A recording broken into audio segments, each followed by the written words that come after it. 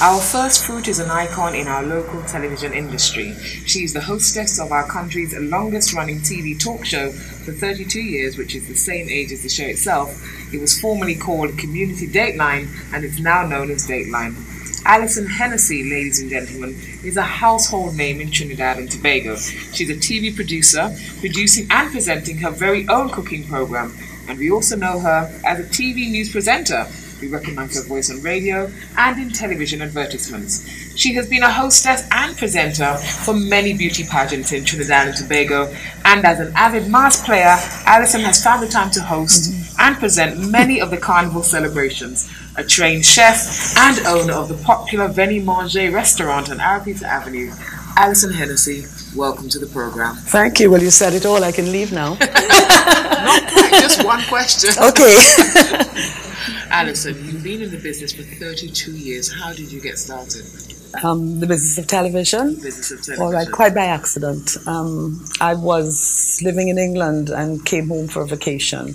Hazel Ward is um, not auntie, she's pumpkin vine auntie because my step grandfather was related to Hazel.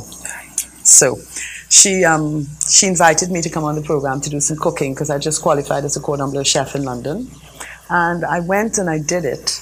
And uh, the people who saw it, the correct people saw it, um, liked it. And that mushroomed into me doing a weekly television program, cooking program. Then I was ready to go back to England.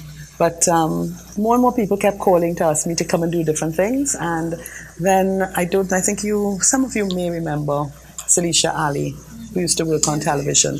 She was hosting Dateline at the time. She was one of the presenters, and one morning she literally called in ill. And they called me and said, Could you come and do this Dateline program? I thought I was being called to audition for the program. And I went down there in literally old clothes. And because um, Albert Charles said, Come now, you have to come right now. So I rushed down and I remember I had a pair of alpargats on. and uh, I sat down and we did this interview about credit unions. Now, if you've never done a television interview and you're interviewing credit unions, if you get through that, I guess you know that you've got yeah, your foot in the yeah, door. Yeah. because, oh, I would hate to see it. Um, but that was it. And, and you're then, in these old clothes? Yes, and he said to me afterwards, that was good. And I said, thanks, so do you want me? He said, well, you just did it. I said, what do you mean? He said, I just did live television. Live. Live.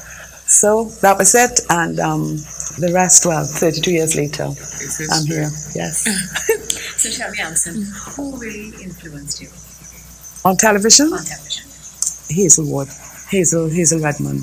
Um, I love, you know, she's very, very professional. She prepares.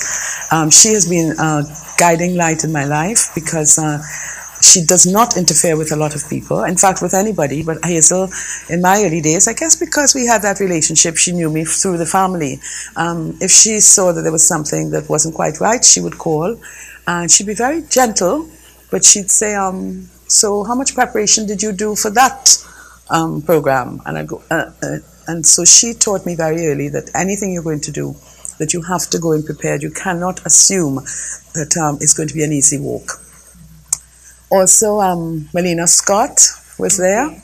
I loved Melina. She helped me too in, in a different side of television, which was the advertising and the selling yes. side.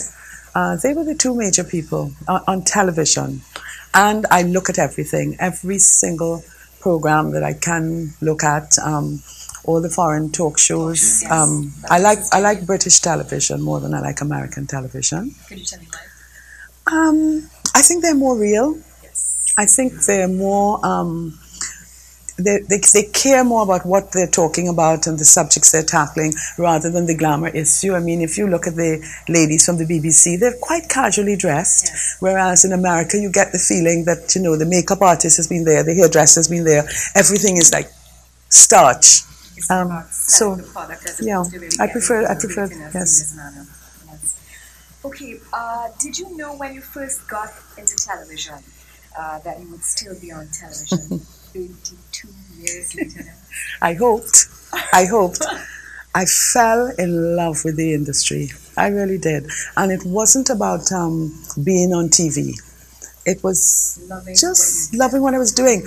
And I think that considering I didn't have any formal training for television, and also that I didn't do very well at school, I, I began very, very soon to understand that there, there was something about what I was doing that was going to work for the people of Trinidad and Tobago. And I'm not talking about the people who already had a very high level of education or who had a lot of information.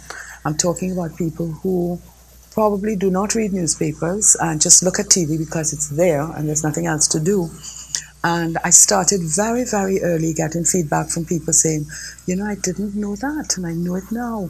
And Allyson, my child had that problem and what I heard you ask the doctor. And I began to feel, I don't want to sound as if it's some big um, spiritual experience, but I think looking back, now I look back, it probably was that, that um, God, for whatever reason, put me there to help communicate. You were blessed with that talent. Yes, yes. And it is very interesting that you have said just now that you really weren't perhaps too academically inclined because there's so many youth out there Dumb, dumb. that are worried, you know, and I think it's instilled, the fear is instilled by the parents. I Of mean, course. You have to pass the exam, otherwise, yes. it. But it's not the be all and end all. And I think that's a very important topic, you know, to broach with the children Oh, now. listen. A lot of them think that, you know, I'd be so academically inclined Of to course, make it through life. yes. And look But- how well you have done. Well, I think it was important as well. Um, I went to boarding school. Both, I mean, first we started in Trinidad, I wasn't doing very well. I was sent to boarding school in Barbados. I'm still not doing very well. I was sent to boarding school in England, and I still didn't do very well Yeah. as far as um, the academic work was concerned. But I think, um, without boasting, it's important to note that I was voted in all the schools the most popular girl at school, the girl most likely to succeed. I was the teacher's pet. I was, um, even though at the whenever the exam results were called out, um, the whole school would sit there because we had very, very um, strict rules at school, and we all had to sit there like this, you know, particularly in England, waiting for these results. And I would get um, D plus, and the whole school would go. And they'd look, and before it was even announced, I would stand up. And I remember the day, the very first day I got a C plus, the entire school applauded, but I got C plus. Yes, but right through that, the nuns encouraged me to do what obviously I was able to do, which was lead. I was able to help people in other directions, and um, they would use me, for example, to go and sit and look after the class if a teacher was absent, or I was sent into the village if someone had to go to the dentist. Um, let Allyson supervise that. So I was put into that role of leadership. Um, although they, but later on, I have to say, I don't think I I don't think I worked as hard as I should have done at school. I think I accepted very early that I was not going to pass exams, and maybe if um, if I was in a situation today that people understood about attention deficit disorder and things like dyslexia, I don't know which one I had, but I certainly was not able to concentrate for a very long time.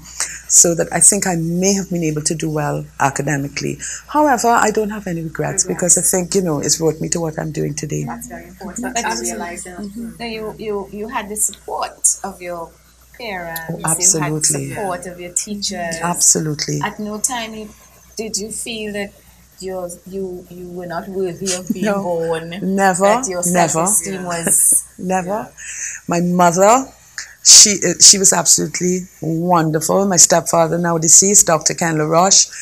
My grandfather, now deceased, Augustus Raymond. I have to mention them because they were so important. Whereas my other three sisters were all A students, particularly Roses, my sister. Oh, she was the brain. I mean, the only reason she didn't leave school at 14 was because the nuns refused to put her in a class above me. so they kept her down. But she could easily have taken her A levels and everything, you know, she was that bright. Um, but mommy just kept saying that Allyson, there's room in this world for everybody, and you know there are things you don't need to get O levels for. You could be a hairdresser, you could do and do a catering course. And I do remember when I, in fact, left school in England, I got into the Morris School of Hairdressing, which at the time was the top hairdressing school.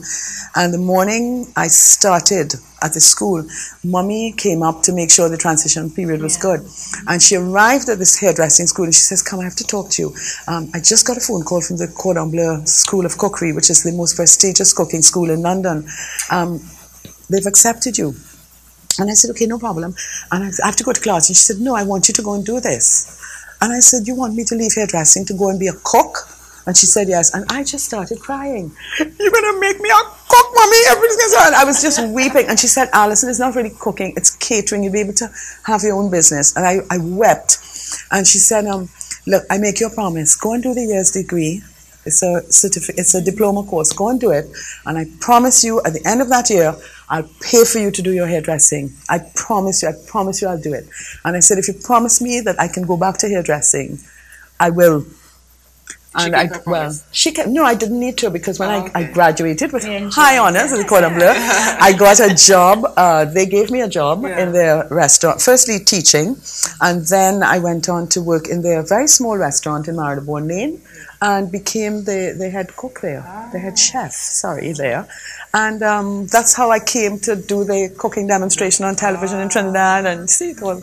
But what were the obstacles when you came here and got into television? Were there obstacles? Was it male dominated at the time? Did you have to Um, fight?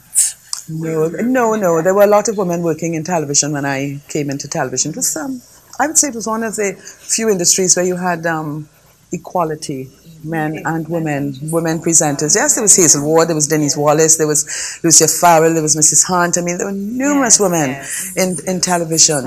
I think um, the major obstacle for me was that. Um, the first few years, I wasn't really happy settling back into Trinidad. I wanted to go back up to England because I had spent about 15 years there.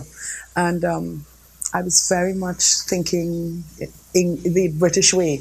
And you mentioned me being an avid masquerader. The very first year I was back in Trinidad, my sister paid for a carnival costume for me and I refused to put it on. I refused. I said, I'm not going to play mas, you mad. I mean, th- that was the last thing in my mind that I wanted to be involved in carnival. I was wondering Well, about that.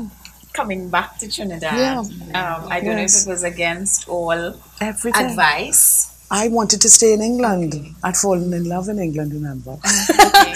and um, I wanted to stay in England. I, 15 years later, I was very British. Um, I, everything Trinidadian was very, not foreign to me because I'd had a lot of time here, but I preferred at that time the English way of life. I loved the big city. I loved living in London. I loved taking trains and running for buses. And I, I, it was just very much a difficult situation to settle back into Trinidad. And um, I, I guess that it must have been the music, the people, the Did life. your husband there? In England, yes, when I was 18 years old, I met Emmett. We were both very young. and I met him, and we sort of went out, and then he left me. And then I found him again. and later on, you know, we got back together, and, and well, we got married. But it was um, it was a, a difficult time to settle back into Trinidad and Tobago. However, I have absolutely no regrets. Absolutely no regrets. I love Trinidad. But tell me, Allyson, Mm-hmm. do you enjoy today? We're back to television now. Do you enjoy today as much as you did earlier on? It's a it's a different challenge. I don't know if enjoy could be used to what we're doing today because today we have um, a lot of um, different television stations. We have competition, so probably we have to be a little bit more serious about what we're doing. Um, when we were first, when I was first doing television, it was uh, TTT. That was the only station, and um, we we did it in a much more relaxed atmosphere. I remember we used to do a lot of nonsense. I don't know if it still happens in television in other stations. I know we don't. Occasionally, it might happen at TTT, but I mean, we used to do terrible things. I'd be talking to camera, and the cameraman would be making faces at me and, and doing all sorts of silly things. if I tell you things that happened to newscasters whilst they were reading the news, what somebody did to them. Mm, you know, something called mooning. okay. And you know, you had to keep a straight face because you didn't have that challenge of like, you know, if I'm not the best, somebody else is going to take over. So it was much more relaxed. But I, I, I think I continue to enjoy it. I feel very happy when I drive into the station and I, I know I'm going to do my program. I don't ever feel that, God, I wish I wasn't here. And I think I'd be more upset if I had to get up in the morning and think, oh, I don't have this to do. I think that would be really upsetting. But as far as um, you know, their happiness or, or whatever, there's a bigger challenge now to, to produce better better standard of programming. Yes, but Do you think that in television today, after Mm-hmm. 32 years, there was anything that uh, perhaps you wanted to do earlier on that you haven't done and you would really like to achieve? yeah. before? Yeah, I, I would like, I wish I had continued um, doing the documentaries that we'd started. Um, I, I think it's a great pity. For example, like right now, what is going on at NBN, um, when I look back at the amount and, and the, the, programs that we did and what we're doing now, it's um, it's a shortfall by about from. I, I think we've lost about seventy percent of the local programming we used to do and they were very, very good programs. But uh, unfortunately, with the advent of, say, TV6 coming on board and then cable television, the advertisers and even more radio stations, the yeah. advertisers then started ha- having to spread their dollars. And so we kept getting less and less money.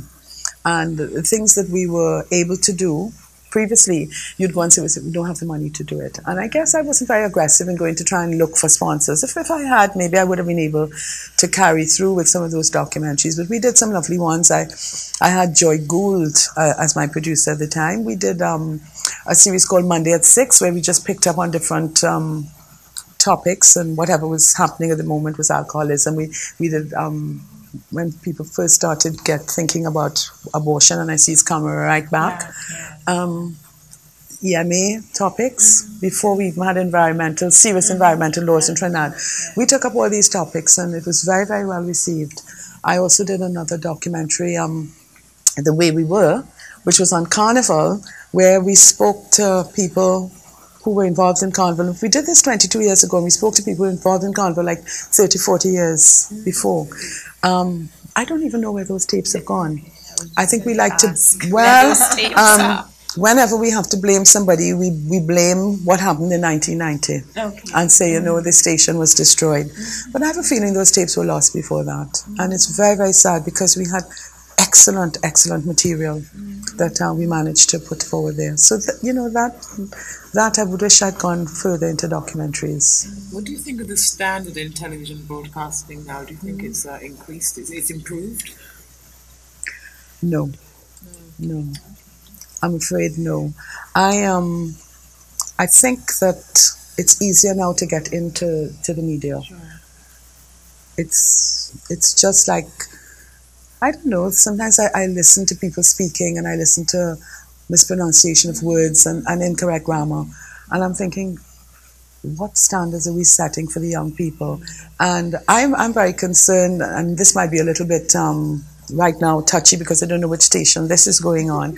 But I'm a little concerned about sometimes I, I, know that we are Trinidadians and we have to say yes that we are a people and we speak in a certain way. But I do believe that we have particularly not the guest not the guest. I think we as the presenters as the hosts of the program we have a certain job to do we have to let people know that you have to learn to speak properly, that you have to be able to communicate, and that um, you must not feel. For example, if I didn't know how to speak properly, I would be terrified doing this interview because every time I open my mouth, I would have to be going, "What is? Is this the correct verb? Is this correct noun? Am I saying it right?" No. So I think we, as television presenters and hosts, we have to speak properly. We have to let people know that in order to succeed in this world, and I'm not saying in order to succeed in Trinidad and Tobago, it's a big world. In order to succeed in this world, you must have command of your language. And that's English language. For us, it is not Trinidadianese, it is English language. And we have to be able to communicate in that language. And if you let people feel that it's all right to say, oh God, darling, what happening? What going on? No, no, no. You can do that at home with your friends, yes. But when I am the host of the television program, I must speak properly. Yeah? Not with an accent necessarily, but uh-huh. I speak properly. Okay. So that is where I feel I'm, I'm, concerned about that aspect of what's happening in radio and television now. question of public education. Yes, yes, yes. But I wanted to ask that question when you talked about feedback from the public. Mm-hmm. You know, how did you feel being an educator to see? Because that's what you were doing. Yes, yes. I felt at first, and 30 years ago, I, I was much younger than I am now, and I didn't understand didn't understand the power, the power that I had over people, and it's um, it, it became very frightening at one point in my life. Um, there was a certain incident, and I, am not um, I'm not shy of speaking of it now. It was carnival time, and you know, carnival time is the time when we eat, drink, and be merry. Mm-hmm. And I'd probably had uh, not one too many, but probably three too many. And uh, we were behaving, I know, in a very disorderly manner. And an, an elderly lady passed and, and she said, um, Oh no, that is not the nice lady from TV. And I heard her. I heard her. And that was the end of a different side of my carnival. And I realized that day that, Allyson, you have a very important role to play. If you're going to sit on television telling people and talking to people about various things and nodding your head in agreement, you cannot then be seen in public. You know, if you want to have a few drinks too many, do it at home with your friends, and you know, do it um, down the islands or at your beach house. But um, you have a role to play, and therefore, I, I understand clearly now. Smiling, huh? because I'm thinking, is that a broad hint at us? No, well, yeah, I don't. I've never seen you, but it's advice that you really have to understand that if you are telling people certain things, you have to act in a certain manner. You know, if you're going to tell um, young people that um, it's not right to to sort of go out. Na- Well, I couldn't anyway because I don't have the body for it. But you know, it's not right to go out exposing just about everything that you have to expose just just before you get to the arrest situation, then I couldn't sit down on TV with my dress, you know, with all my cleavage out and, and everything. So you have to. There's certain things that you have to fall in with, and um, it's not it's not that I suffer doing it. It's just that you are aware that you have a role to play and, and you're an educator, you're a public person, and the people look up to you. And in the same way that a, woman or a little child would come up to you and go, Allyson, um, and the mummy would go, Auntie Allyson. And I said, Well, everybody here is calling me Allyson, so it doesn't really matter. But the children come and they hug me up and they say, I love you so much, I love you so much. I have to be someone that is worthy of their love.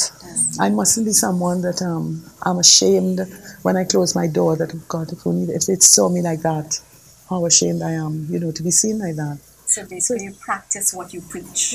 I try to. Try I'm to, not. yes. I'm not telling you. I'm yeah. not telling you I'm perfect. Um, but I do feel that when I'm in the public Yes. eye, that I, With, I uh, have your- to. Yes. your- yeah. viewers. What Mm-hmm. other advice do you give to those like us following in your footsteps? Mm-hmm. You, you are a mentor to us. What other advice would you Yes. give us? Go to your boss and get an increase in salary. right, yeah, we're, we're, we're working on that. Yeah. one. We're working on that one I like that already. one. So, you know, So um, that's point number one.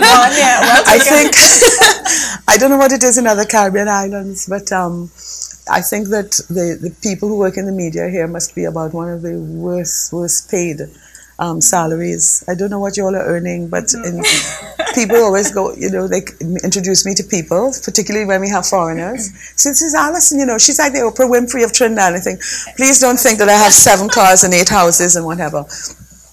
But I mean, that, that's one side of it. The money is really, really bad. For people who are working in, in, in the industry, just be true to yourself. Just be true to, be, to yourself. Be who you are. You're somebody, and you have a lot of different ideals, and you have beliefs, and there's certain things you agree with. I think one of the major things that I've always tried to do is to stay out of politics. Okay. I have a joke when somebody says to me, you know, what your political party, and I say, oh, PIP party in power. you know, party in power.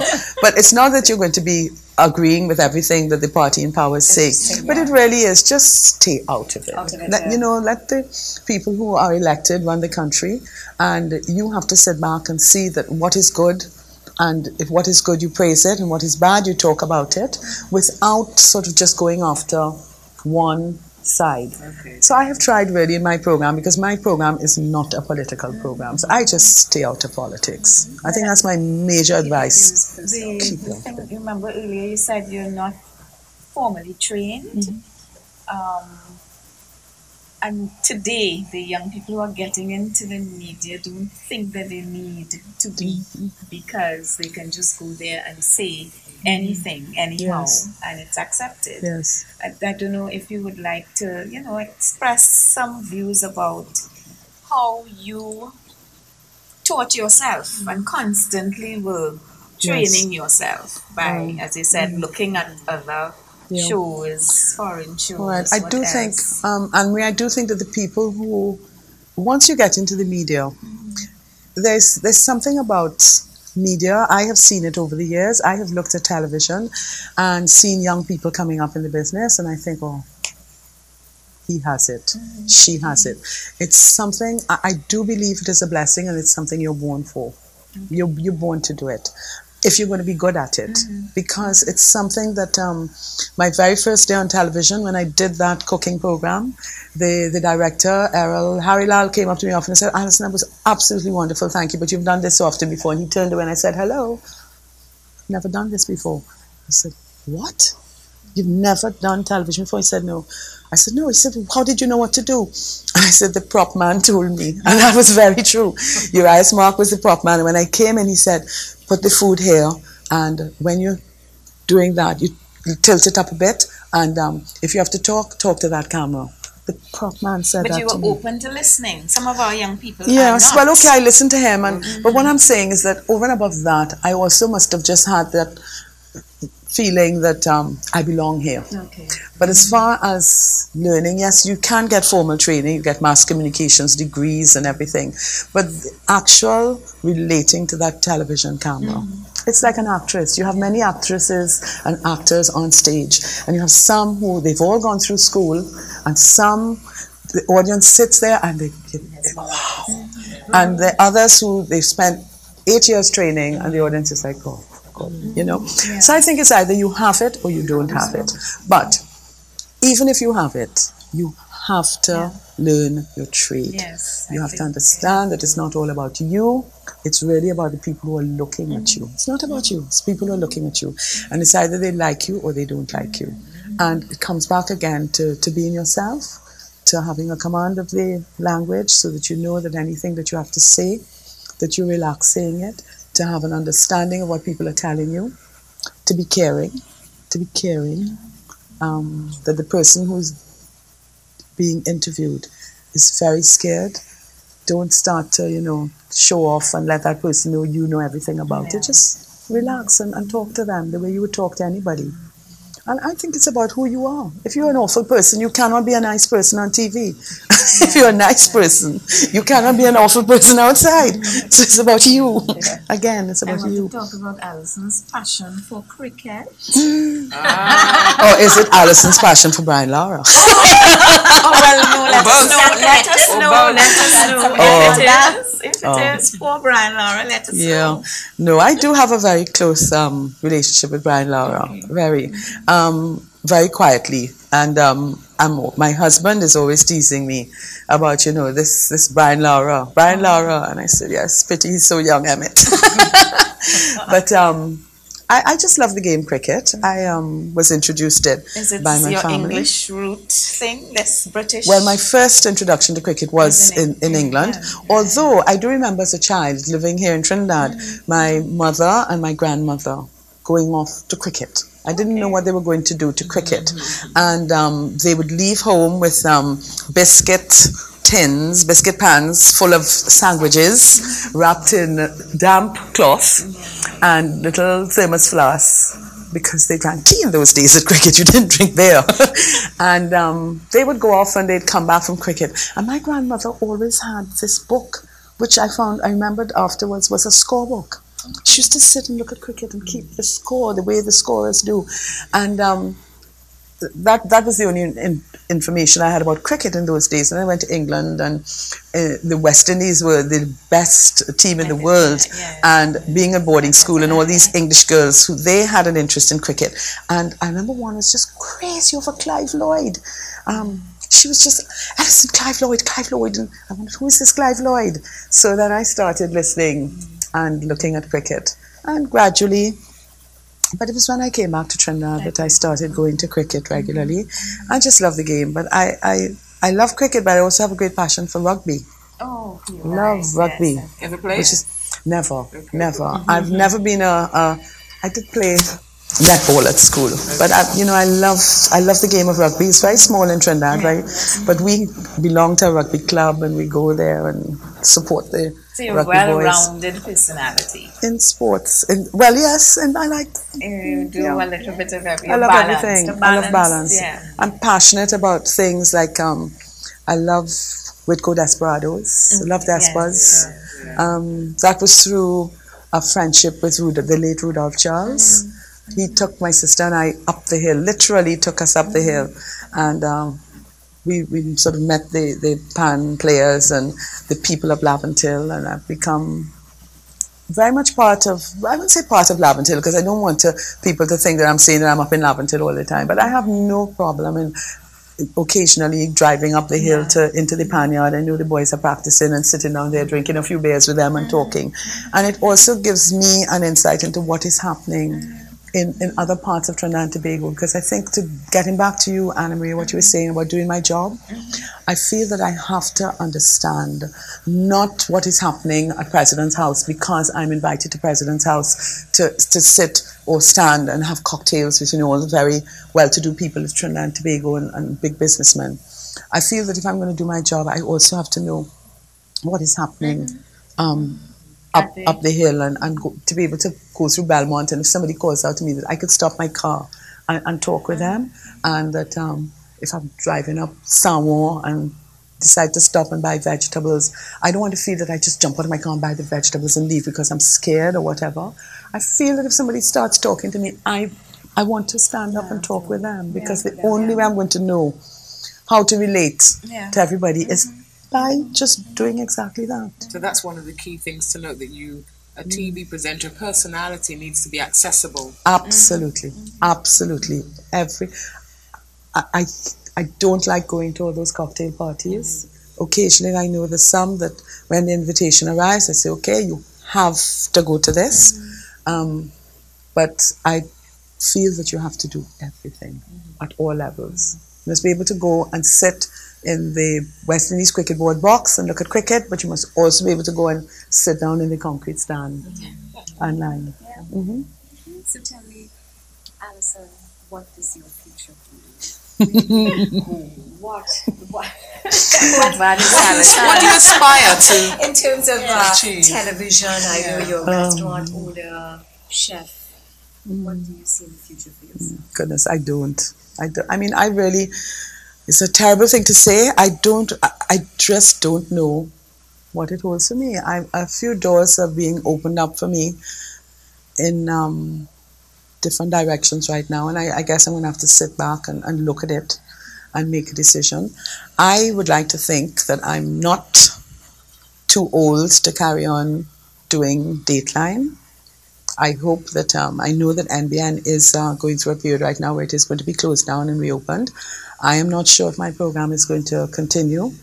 I would like to think if it doesn't, that there another door will be open for me that I can continue because I feel very, very strongly about the program and uh, the feedback that we get and the help that I'm able to get to other people.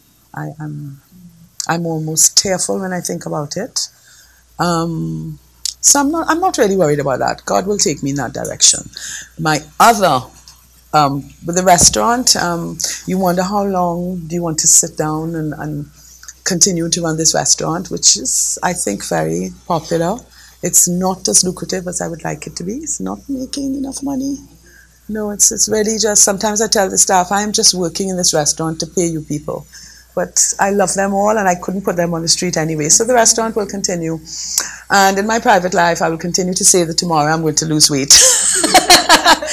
and I hope that I will be able to say I stay married and you know that everything else continues. But you know to say that I want to do this or that or that. And I'm have- sure that the listeners will be very happy if you continue to uh, be a presenter on television, and because I'm sure they connect so well with you. I hope so. I, I thank you very much for that. And I, I would I would be silly if I said it didn't happen, that the connection wasn't there. I, I would There be silly, I would be pretentious if I said it's not there. I know that there's that connection and I thank God for it. And we would really like to have you on television for a very long time.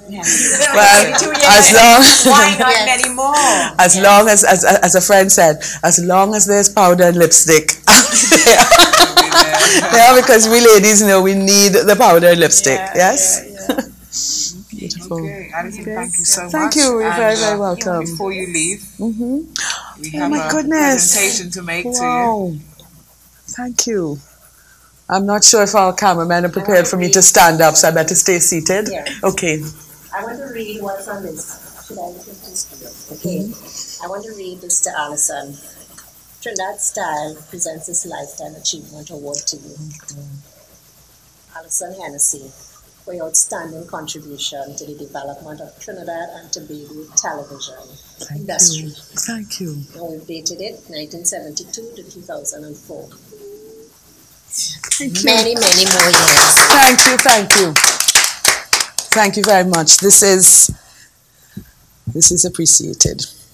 And I have to say thank you. You know when you said Trinidad and Tobago television and then you paused oh, and you said industry, tearfully I say thank you very much to Trinidad and Tobago television.